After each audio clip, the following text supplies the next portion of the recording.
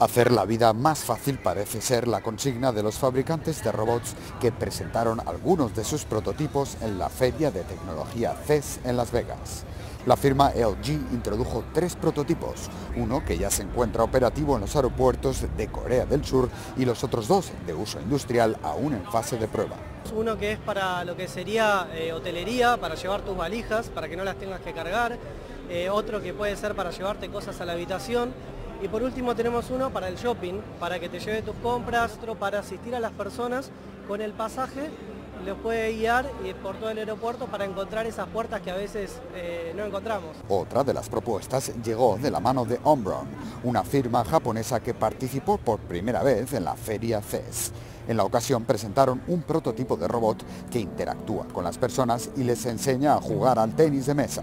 Pero lo innovador, según los fabricantes, es la automatización del robot con el control, lo que permite dar una mejor respuesta. Todos los usos de inteligencia artificial, ¿cómo puede la inteligencia artificial en todo ámbito y todo aspecto ayudar al humano a hacer su trabajo mejor? En, términos de uso automotriz, en términos de uso de industria, en procesos de manufacturación. Sea en el hogar, en el supermercado, en el trabajo o en el aeropuerto, el futuro parece conectar cada vez más a los humanos con la inteligencia artificial. Arturo Martínez, Voz de América, Las Vegas.